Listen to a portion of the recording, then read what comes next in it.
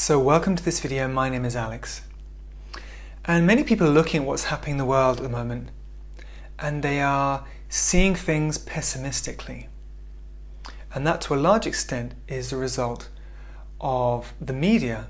The media is poisoning our minds with negative visions. It is turning us against each other. It is creating enmity and hostility and anger, so much anger, despair, pessimism and hopelessness. And you'd be amazed, you'd be amazed how your perspective on the world would change if you switched off all your screens, stop looking at the media, social media, stop checking on the news, watching TV programs, if you switched it all off just for five days and instead spend as much time as you can in nature, as much time as you can with your children, with your family, or helping the people around you, just being in the world, being in nature, appreciating what this beautiful world has to offer. Because this world is paradise. All you have to do is go into a forest or on a sunny day or go into a beautiful meadow where there's butterflies and birds singing or go to the ocean, to the seaside and feel the energy, feel the power of the ocean, swim in the water, swim in a river. These kind of things remind us of how beautiful this world is. We tend to conceptualize everything and turn everything into a kind of two dimensional map so that we can understand this world. But the greatest gifts of living on this planet are experiential. So we have to jump into the ocean to appreciate what the ocean is about.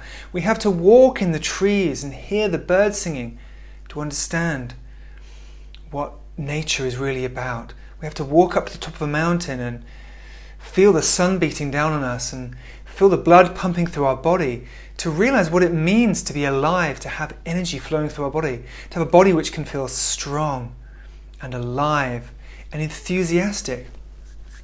And this is the biggest problem which I, I, see which is happening right now, especially with the influence of the media, as I said, being so negative and poisoning people's minds, is that people are very, getting very disconnected from their sense of enthusiasm. And our sense of enthusiasm is so vital to us. It's like a powerhouse of motivation. It gives us our drive. It makes us want to get up in the morning and uh, it gives us energy. If we have enthusiasm, we are connected to something which gives us unlimited energy. And that's why enthusiasm is so, so important. And it is possible for you, for anybody, to find what it is that gives you enthusiasm.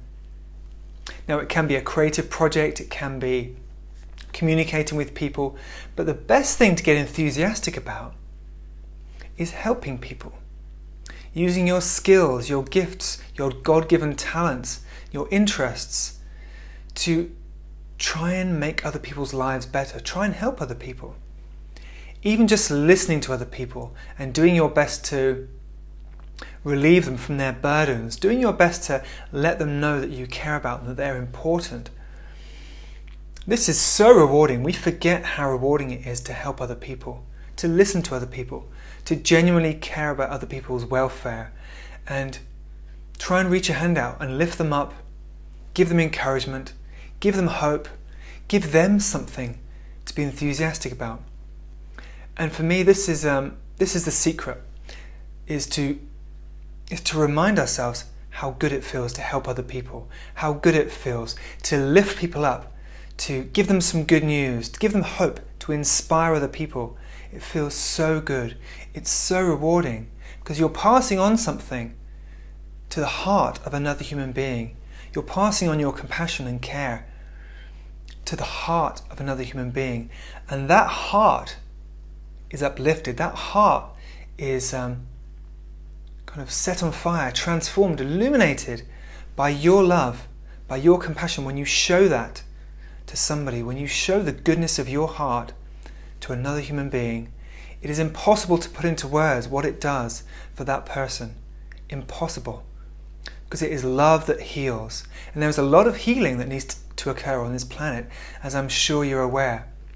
But we don't do it by trying to tell people they're wrong about this and educate them about that and tell them how they've got it all wrong and how they're, you know, believing loads of lies and You can't change someone by telling them where they're going wrong. It's love. It's love which enables people to rise above their fear, rise above their negativity, rise above their sense of hopelessness.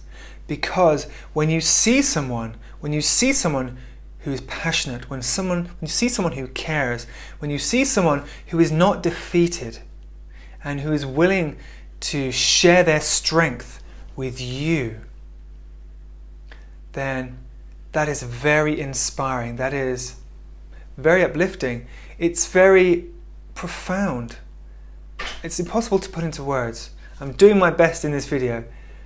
But what I'm trying to tell you is that there is a million people around you who need something you've got. They're in a worse situation than you. They're losing hope. They're getting sucked into despair and pessimism, and misery.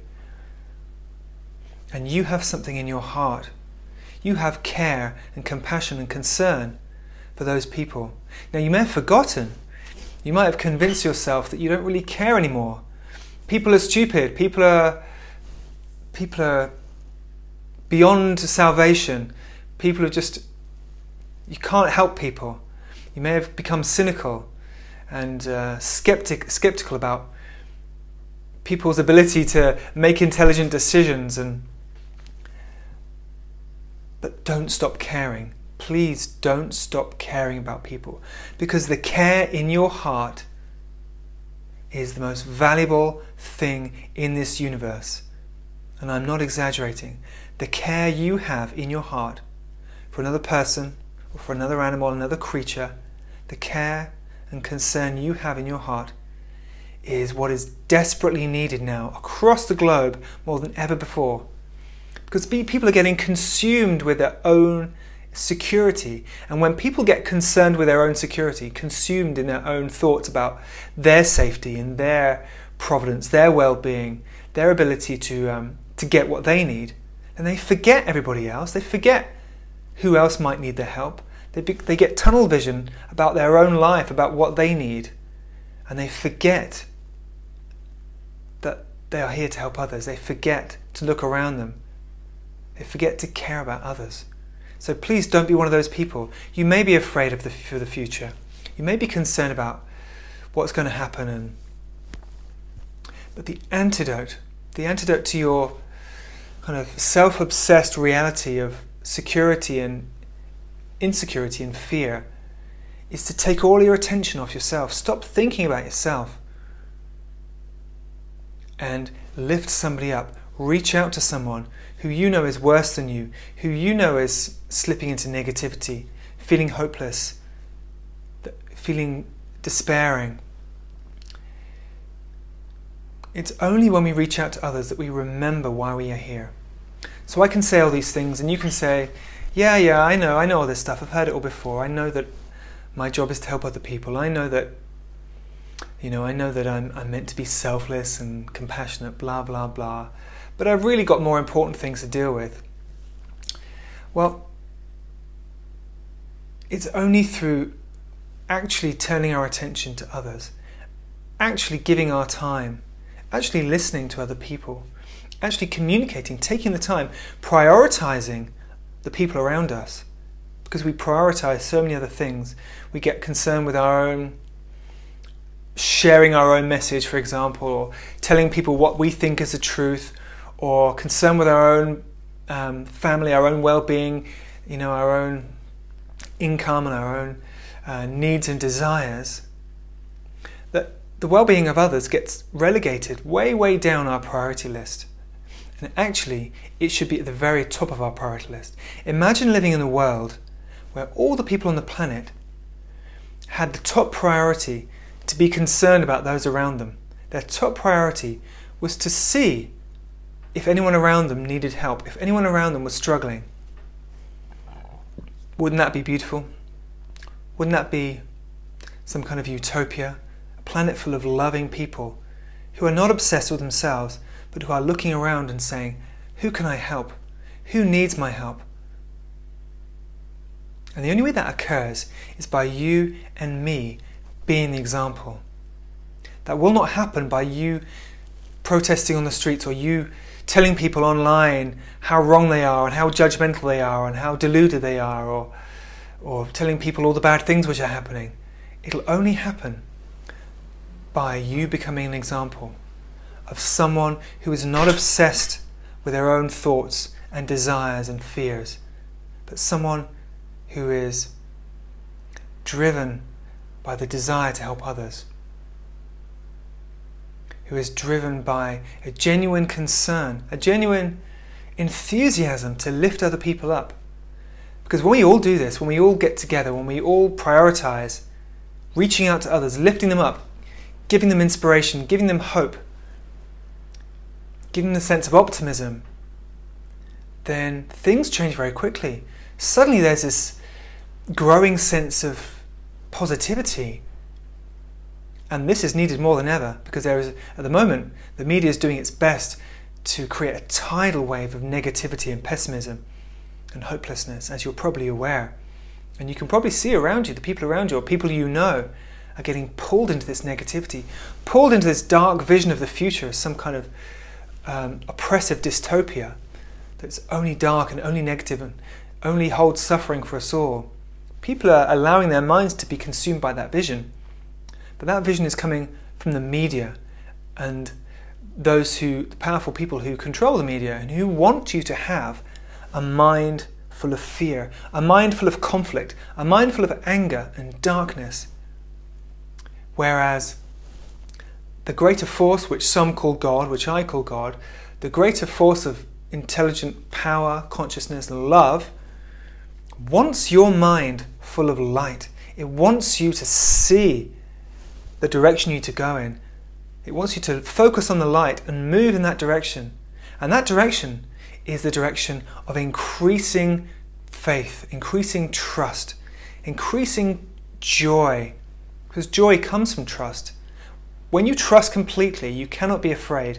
When you have complete trust that you'll be looked after and protected, you cannot be afraid because your trust is complete. There is no doubt. And this is what we all need to cultivate complete trust that we will be protected, we will be provided for. There is no reason to fear. And that our top priority, and I mean our top priority, should be keeping our mind in the light, not allowing negativity and pessimism to encroach on the sanctuary of our mind. That we keep our mind focused on the light, focused on the potential because the media wants you focused on the worst case scenario and how, how everything is going to go downhill, how everything is going to be bleak and miserable and hopeless. They want you thinking that way.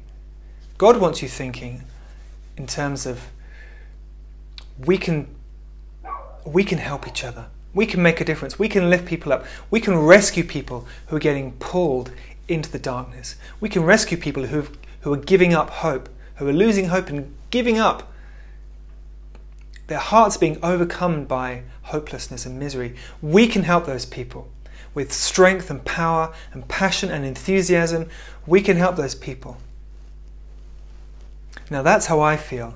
I'm not concerned about what happens out there. I'm not concerned about what the governments are doing or because I trust that I'm protected and provided for. I trust that I'm safe. And I experience that. This isn't just some kind of blind faith. You experience safety when you trust that you are safe. And this creates a kind of an, an aura, a bubble of light around you, which comes from your heart. This sense of trust enables the light of God to flow through your mind, through your heart. So you're protected by this bubble of light, and no darkness can come in. Because darkness has to enter your mind first. If you, if you do not open the door to negative thoughts, and fearful thoughts, if you keep that door firmly closed and say, No, I'm not going to believe those dark thoughts or negative thoughts. I'm going to trust. I'm going to stay in faith. I'm going to stay in peace. And I'm going to I'm going to be sure. I'm going to be I'm going to have faith that I am safe. And then your reality becomes more illuminated. Your reality becomes lighter. You, you just sense this aura of light and safety around you. And that comes from God. And it's very real. It's a spiritual, It's like our spiritual protection. And we have to activate that by allowing ourselves to feel safe. Ignoring all the negative, fearful thoughts, ignoring all the things which tell us there is threat around every corner, that doom and disaster are coming. Ignore them. Relax your heart. Let your heart be at peace. Let go of the fear and trust that God is looking after you. Ask God. If you don't trust God, then ask God to bring safety and peace into your heart because He will. Ask God to bring you peace. Tell Him you're scared. Tell Him all the things you're afraid of and say, Please, I need you to make me feel safe. I need you to bring peace and safety into my heart. And He will. I guarantee it. If you honestly and genuinely ask, and talk to God and tell Him what you need, then you will receive it. You'll receive the peace you need.